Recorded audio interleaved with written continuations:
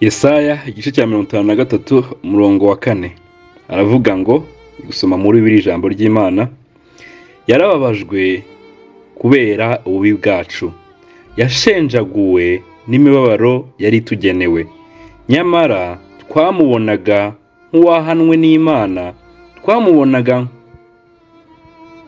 nk'uwibasiwe na yo agacishwa bugufi. Akansubiremo yarababajwe kubera ububi bwacu. Yashenjaguwe n'imibabaro yari itugenewe nyamara twamubonaga nk'uwahanwe n'imana twamubonaga nk'uwibasiwe na yo agacishwa bugufi. Muri biriya yari haravuga ngo ni ukuri intimba zacu nizo yishyizeho imibabaro yacu niyo yikoreye ariko twebweho twamutekereje nk'uwakubiswe n'imana agacumitwa na yo agahitamishwa n'imibabaro. Iryo ni ijambo ry'imana. Dukomeje iyi nyigisho ivuga ku mugaragu w'umunyamibabaro ari we yesu kirisito ibi ngibi byahishuwe mu myaka myinshi mbere y'uko yesu kirisito avuka avukiye mu mwari w'isugi mariya akabaho ubuzima bugoye akagera ku musaraba agapfa urupfu rubi rw'isoni urupfu ruteye isoni hanyuma ku munsi wa gatatu akazuka akamara iminsi mike ari kumwe n'abigishwa be ubundi agasubira mu ijuru akaba azagaruka aje guha agakiza abe bose no guciraho iteka abanzi be bose. Ibyo bintu birakomeye bavandimwe kuri uyu mugaragu w'umunyamibabaro. Ibi rero Yesaya abivuga nk'uko twabibonye yabivuze bitaraba. Bimwe uburyo abivuga abivuga nk'uri kubireba nk'ibyamaze kuba ibindi akavuga nk'ibizaba. Ariko nyine ni ubuhanuzi. Ni ukuvuga ngo haryo turi buze gukomeza kureba tukabona ari kuvuga nk'ibyabaye nyamara bizaba. Ariko ku gihe cyacu bikaba byarabaye.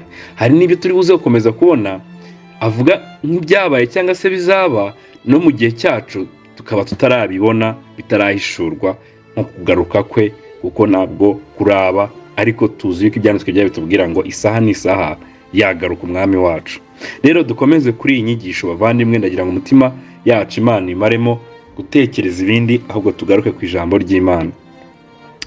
Uyu munsi rero kuri uno murongo wa kane tugezeho turaza kubona intangiriro y'impamvu y'imibabaro y'uyu mugaragu w'umunyamibabaro.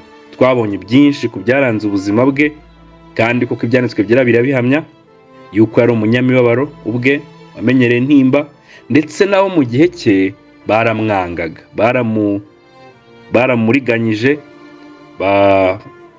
baramwirengagiza baramuhunga baramwirukana ibirenze ibyo baranamwanga. Ntabwo bamwirukanye gusa ahubwo baranamwanze. Rero ahangaha tugiye kureba impamvu y'iyo mibabaro yose yanyuzemo. Mbere y'uko rero tureba impamvu y'iyi mibabaro yose yanyuzemo impamvu yabyo ari na byo dusomye mu kanya nagira ngo tuze kugaruka gatoya ku mugabo witwa yobu. Kubera yuko isezerano rya kera tubona rikomeza guhishura ibintu byinshi kuri kirisito cyangwa ku byo imana yendaga gukora. Tubona rero mu isezerano rya kera tubonamo inkuru y'umuntu witwa yobu. Yobu tumubona nyine mu gitabo cya yobu. Uyu rero yobu bimwe mu bintu tubona byamuranze yari umunyamibabaro nawe. Yari umugaragu w'imana ukiranuka imana ubwayo yatanzeho bamwe ikavuga ngo uyu mugaragu wanjye arakiranuka. Yobu ariko uyu mugaragu w'imana witwa yobu ukiranuka tubona yarahuye n'imibabaro myinshi itari iyo kubura ibyo atunze ahubwo nawe ubwe umubiri we arababara. Arababara rwose umubiri we arababara ndetse si yababara ku mubiri we gusa ahubwo n'inshuti ze ziramubabaza. Inshuti ze rwose ziramubabaza. Hano dusoma muri Yesaya igice cya mirongo itanu na gatatu umurongo wa kane bavuga yuko uyu muntu wababaye witwa yesu cyangwa se uyu mugaragu w'imana wababaye ngo yababaye ku mpamvu zacu yababaye mu cyimbo cyacu. Niko muri ijambo ry'imana bavuga ngo yashenjaguwe n'imibabaro yari itugenewe. Ariko hasi bakavuga ngo nyamara twebwe abantu ntabwo twatekereje yuko ari kubabazwa n'imibabaro yiwe ahubwo twatekereje ko ari kubabazwa n'imana imuhora ibyaha bye. Mbega n'imana yari imwibasiye kubera ibyaha bye kugira ngo imucishe bugufi. Ni uko abantu babitekereje. N'ubu rero iyo turi kubonamo hano yababaye biturutse mu gushaka kw'imana ariko inshuti ze zigeraho zitekereza yuko impamvu ari kubabara ari ukubera ibyaha bye. Nyine ni imana imwibasiye imucishe bugufi. Ni uko babitekereje. Kandi twibuke yuko impamvu y'imibabaro yose ntabwo ari uko imana ishaka imwibasiye kubera ibyaha bye ngo imucishe bugufi. Ahubwo kwari ugushaka kw'imana kubera yuko satani yari aje kumusaba imana ngo amugerageze ngo arebe ko maze nawe aze kureba nimba ataza kumwihakana. Imana irabyemera. Ntabwo imibabaro yose nyine igera ku muntu aba ari impamvu buri gihe z'uko yakoze ibibi. Ahubwo nyine n'ibituruka mu gushaka kw'imana. Ariko inshuti za yobu zagezeho zitekereza yuko oya ni imana iri kumwibasira kubera ibyaha runaka n'ubundi yobu nawe ni umunyabyaha ntabwo ari utunganye nk'uko imana itunganye ko nawe ni umuntu avuka kuri adamu ariko ntabwo iyi mibabaro iri kumuzaho yihariye ari icyaha runaka yakoze. Abangaba rero inshuti ziba baravuga ngo ni icyaha runaka yakoze kiri gutuma imana imwibasira. Murebe nko muri yobu igice cya kane umurongo wa karindwi. Yobu igice cya kane umurongo wa karindwi aya ni amagambo yavuzwe na elifazi wari inshuti ya yobu nyuma y'uko yobu ahuye n'aka kaga kose. Aravuga ngo ibuka ndakwinginze. Ninde wigeze kurimbuka atariho urubanza cyangwa hari ubwo umukiranutsi yaciriweho iteka? Ni amagambo bari kwibutsa yobu. Bamubwira ati nyaboneka ibuka. Ibintu uri guhura na byo ndagira ngo wibuke. Ninde wigeze kurimbuka atariho urubanza? Cyangwa hari ubwo umukiranutsi yaciriweho iteka? Kuri kuvuga yuko nta cyaha ufite nta cyaha runaka wakoze gituma imana ikwibasira ndagira ngo umbwire ni gute ibibazo byose biri kugeraho? Wari wumva umuntu urimbuka atariho urubanza cyangwa umukiranutsi acirwaho iteka? Kuko yoba yari ameze yari ameze nk'uciriweho iteka n'imana. Igice cya munani umurongo waho wa kabiri kugera ku wa munani. Aya na yo ni amagambo yavuzwe n'uwitwaga birudadi wari inshuti ya yobu. Ukuntu nawe yavuze. Ngo uzahereza he kuvuga utyo? Kandi uzagarukiriza he kuvuga amagambo ameze nk'umuyaga wa serwakira?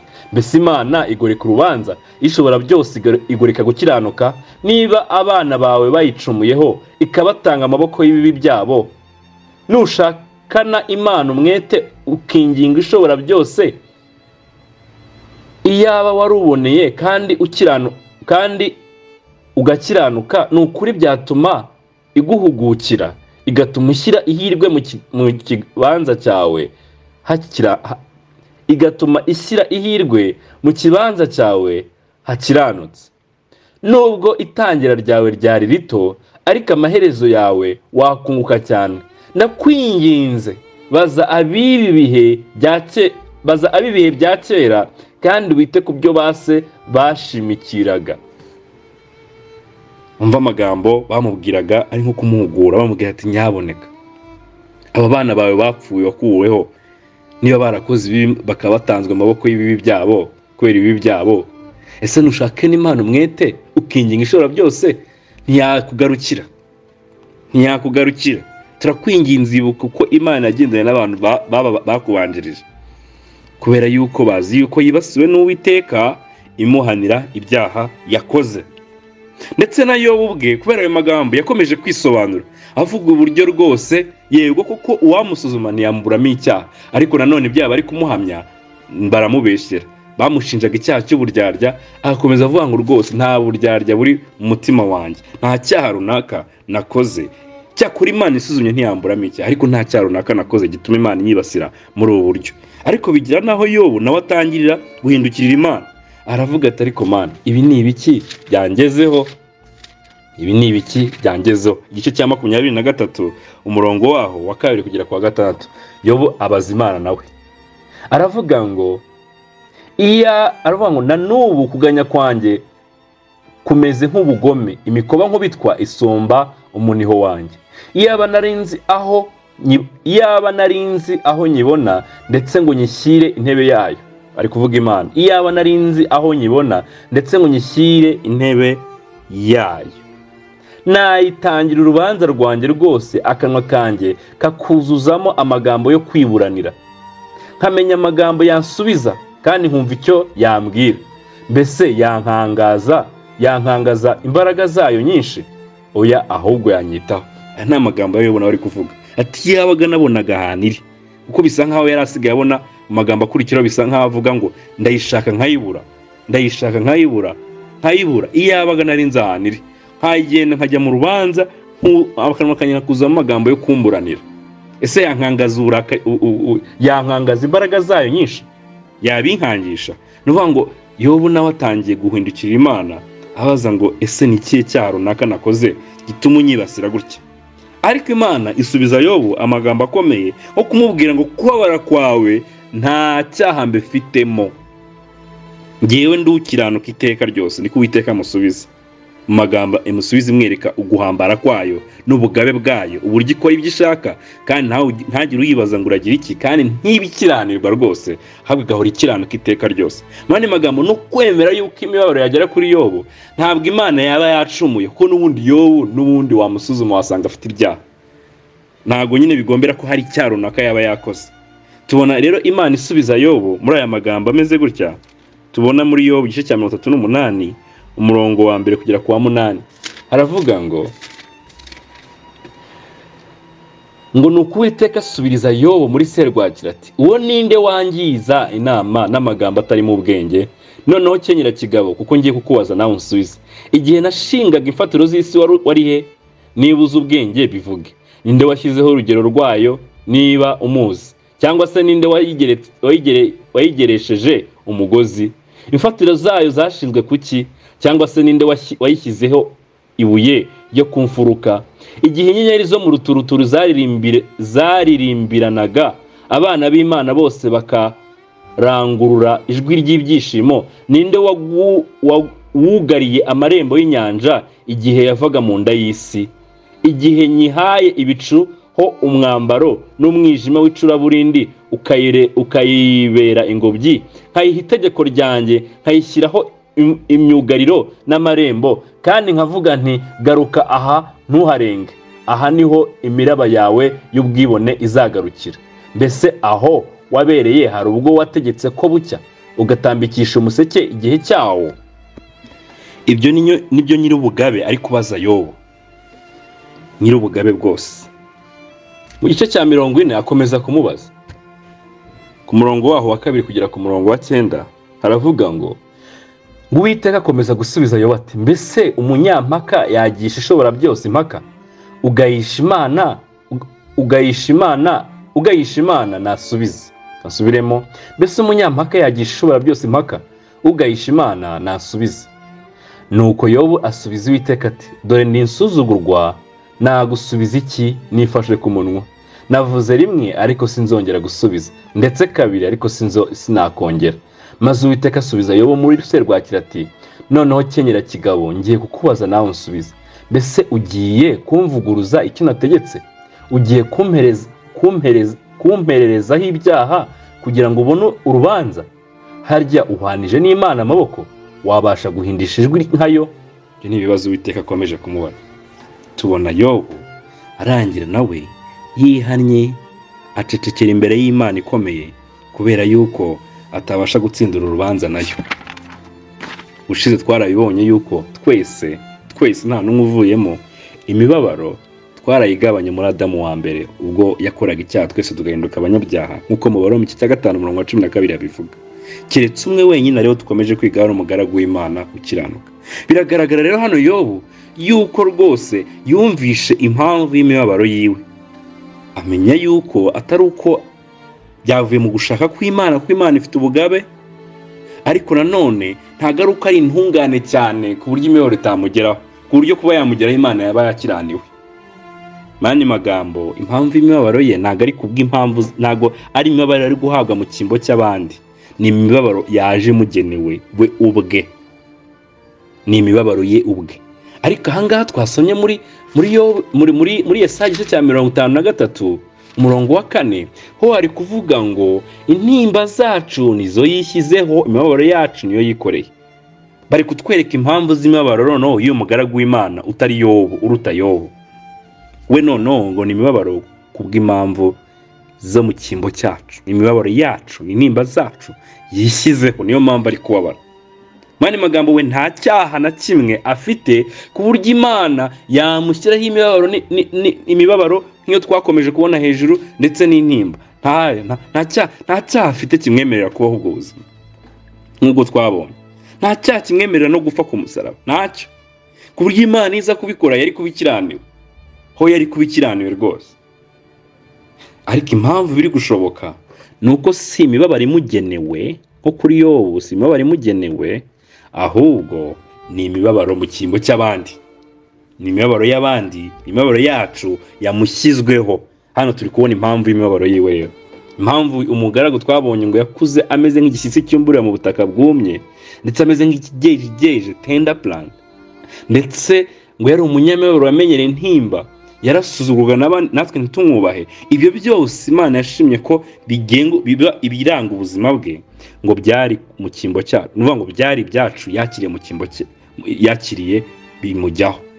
Si ibyanjye ngenyine ni ibya benshi ni ibya benshi bavandimwe.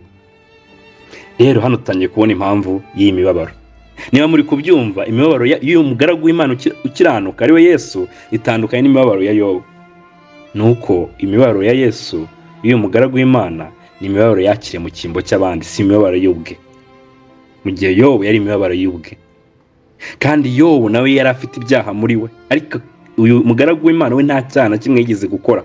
Nk'uko twabibonye muri Yesaya mirongo itanu na kabiri ngo nta bintu by'ubupfapfa bizagaragara muri we.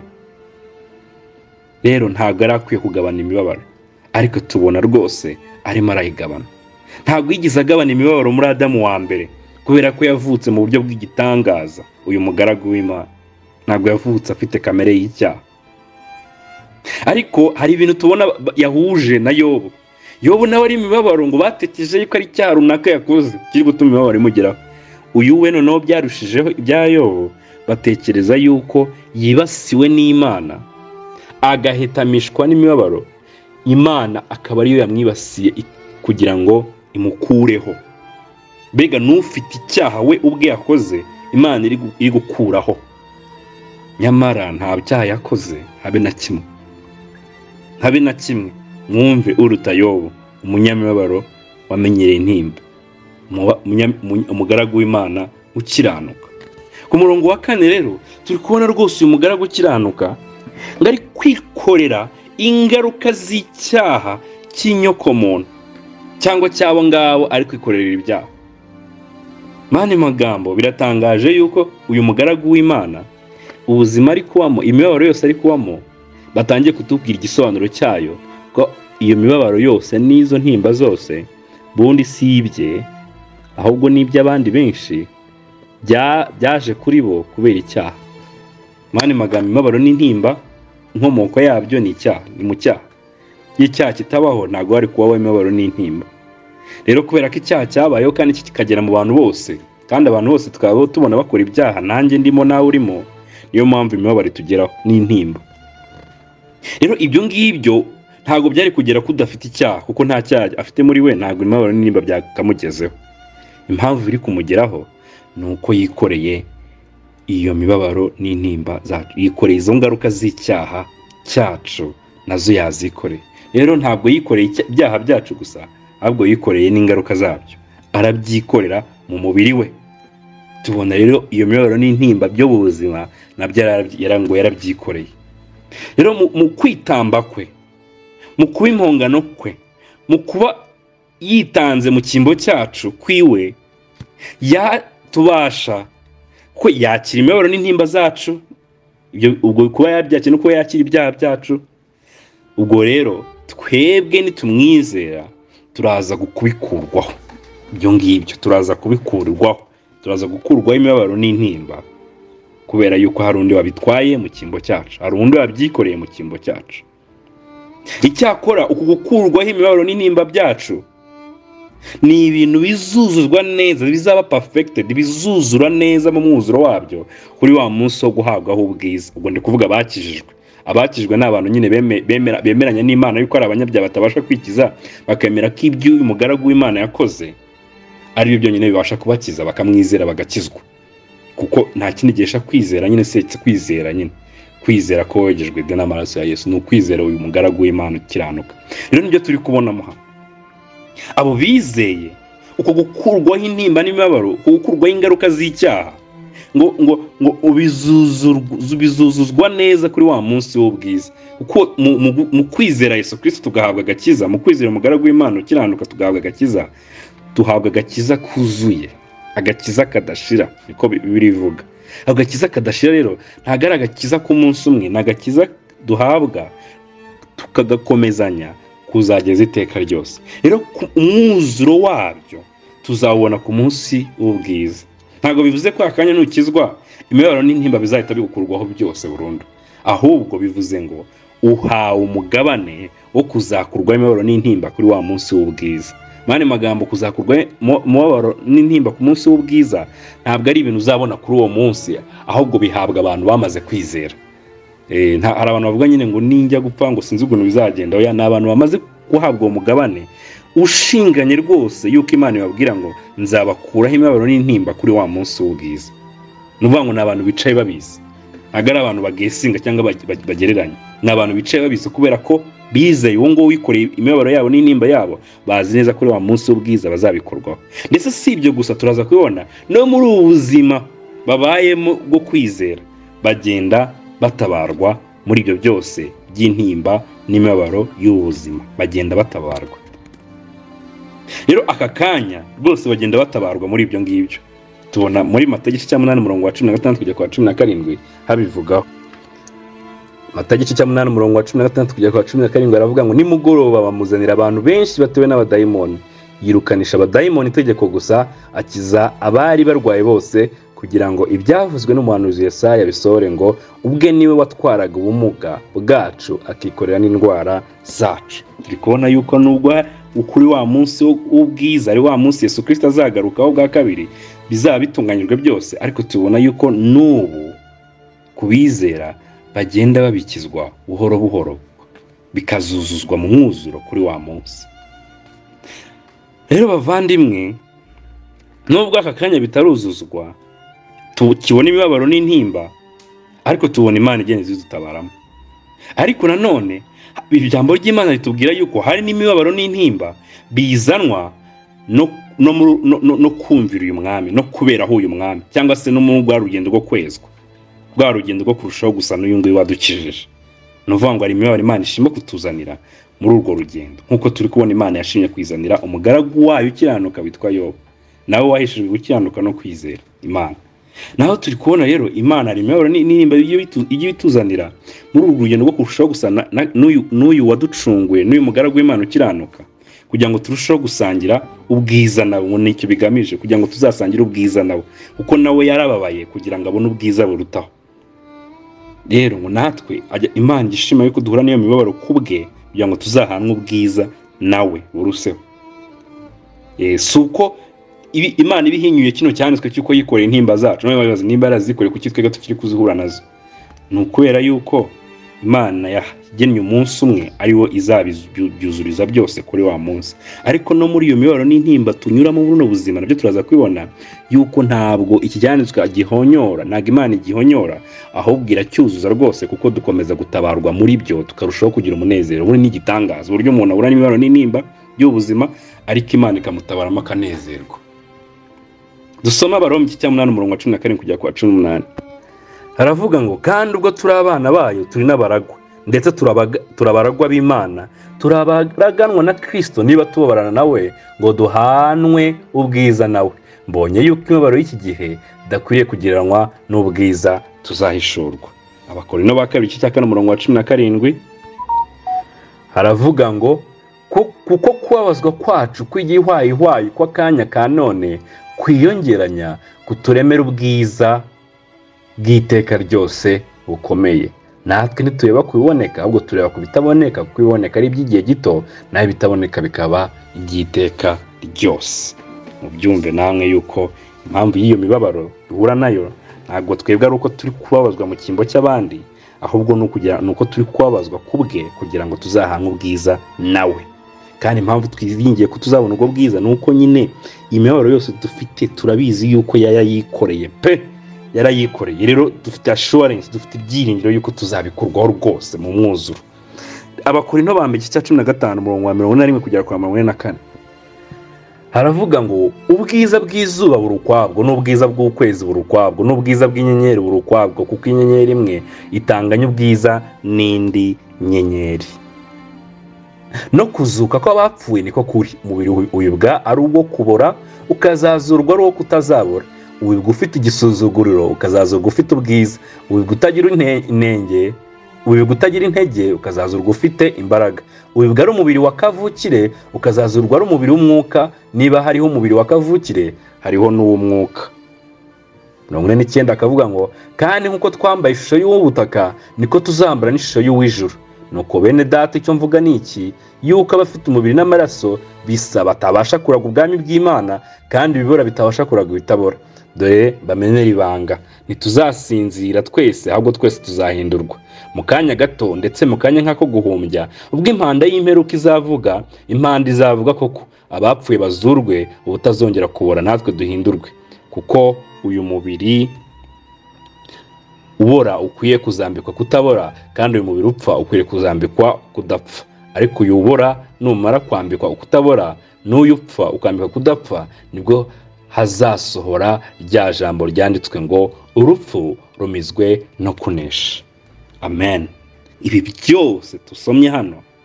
Imana yagennye umunsi izabyuzurizaho. Kuko turi kubona yuko ntabwo imana yashimye kubyuzuzaho turi hano mu isi?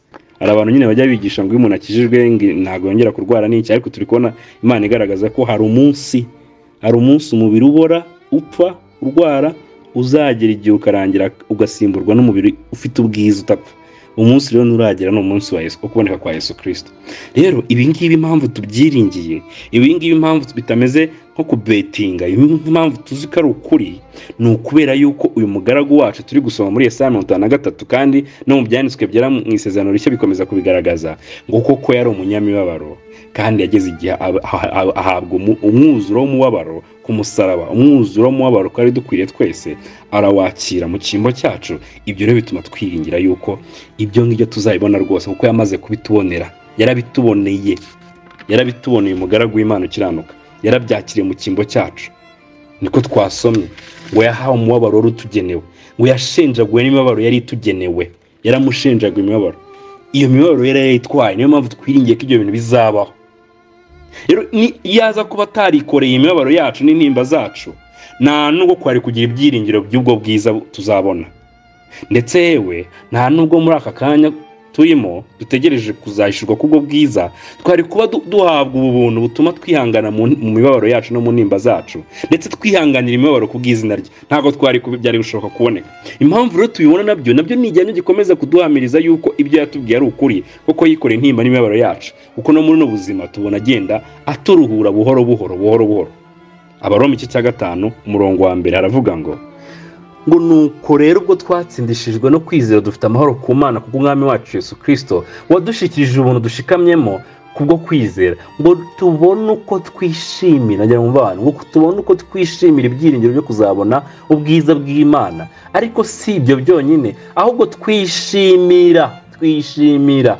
Hehe mu byiza oya. Ngo twishimira ntabwo ari mu byiza gusa. Ngo no mu makuba yacu kuko tuzi yuko amakuba atera kwihangana kandi kwihangana kugatera kunesha ibitugerageza uko kunesha kugatera ibyiringiro. Bene ibyo byiringiro ntibikoze isoni kuko urukundo rw'imana rwasabye mu mitima yacu kubw'umwuka wera twahawe. Nimwumve yarabituboneye yarabituboneye rwose.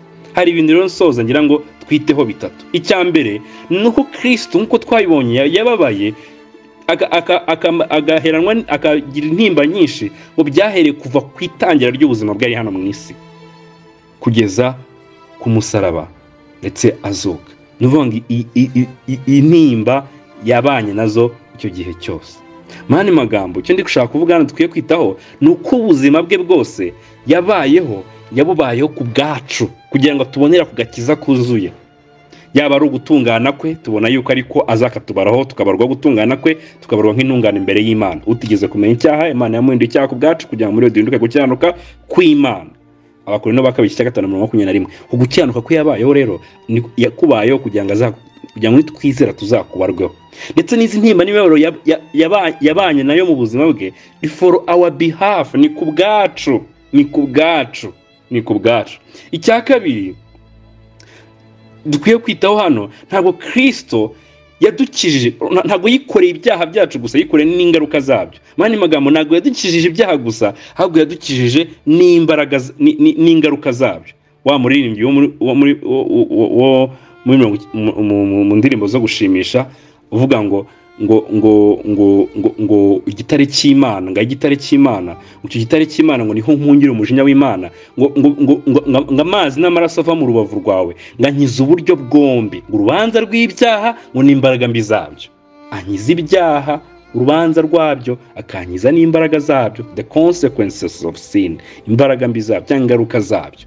Ibyo ngibyo mbona gukira kwabyo muri kirisito gusa. Apana mu byo nkora cyangwa mu byo nakora. Ni ukuvuga ngo yesu ntabwo adukiza ibyaha gusa ahubwo adukiza n'ingaruka zabyo. Ingaruka zabyo yaba ari izo mu mwuka yaba ari n'izo mu mubiri. Mu yandi magambo adukiza yaba ari izo mu mwuka ngo kuvuga urubanza rw'iteka ryose ararudukiza ku- musaraba ko yararwakiriye yakira umujinya w'imana mu cyimbo cyacu. Ndetse no kwangirika k'ubugingo bwacu. Na byo arabidukiza tukaba bazima muri we. Tukaba ibyaremwe bishya muri we. Mu buryo bufatika butari spiritual butari bw'umwuka nabwo imibabaro n'intimba by'ubu buzima na byo arabidukiza kuko twiringiye yuko ntabwo amaherezo ari urupfu ahubwo nyuma y'urupfu hari ubundi buzima kandi ubwo azahishurwa ngo tuzahindurwa duse nawe duhabwe ubwiza budashira. Ibyo bintu turabyiringiye kuko twabigabanye mu murimo wuzuye yakoze ku musaraba. Ntabwo twabigabanye bitu- biturutse mu bikorwa byacu ahubwo mu murimo wuzuye yakoze ku musaraba.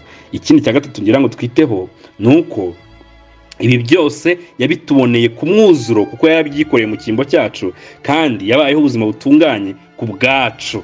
Icyakora iyo twizeye agenda abidusohorezaho mu- nk'uko yagiye abishima ku bijyanye n'agakiza ke mu yandi magambo ntabwo iyo umuntu yizeye bivuze ngo ahise akira imibabaro yose y'ubu buzima ariko hari ibyo tubona ni ukuvuga ngo agakiza ni package yuzuye harimo gutsindishirizwa ni ngo mu gutsindishirizwa hari ibintu imana iduha dukurwaho urubanza rw'icyaha tugahabwa im- imitima mishya tugatangira urugendo rwo kugenda dukira kononekara k'ubugingo kononekara kw'imibiri yacu ari byo twita ngo sanctification.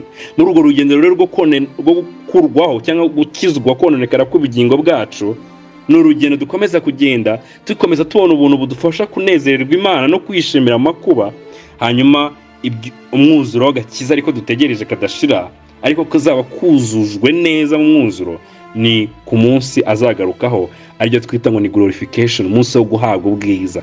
Ibyo byose rero ni umwuzuro w'agakiza twagabanye muri kirisito bidaturutse mu mirimo yacu ahubwo twahawe nk'impano reka ne kuvuga ngo agakiza twagabanye ko ntako twagabanye ahubwo twagahawe nk'impano nk'impano ari imana yacu ikaduhaye. Iyo tuvuze rero agakiza tuba tuvuze ibyo byose uko ari bitatu. Mu yandi magambo nta watsindishirizwa ngo agere hagati ngo areke kwezwa ariko ngo azahabwe ubwiza. Hoya abatsindishijwe barezwa mu buzima bwo kwezwa kandi bazahabwa ubwiza. Nta n'uwahabwa ubwiza ataratsindishirijwe. Ntabwo bibaho ibi byose biruzuje. Biruzuye. Gakiza twagabanye muri kirisito yesu. Niyo mpamvu twiringiye yuko uyu nguyu ibyo Yesaya yahishuriwe koko ari ukuri yuko ko yabyikoreye mu cyimbo cyacu. Tuzakomeza kubibona ibintu rwose umwami wacu yakoze. Ariko ndakubaza ngo wizeye ibi ngibi imana yishuriye ba yobu byerekeye umugaragu w'imana ibyo azakora kuri wowe kugira ngo ukire. Ese urabyizeye ko ibintu yabikoze ku bwawe? Ni byo wiringiye muvandimwe.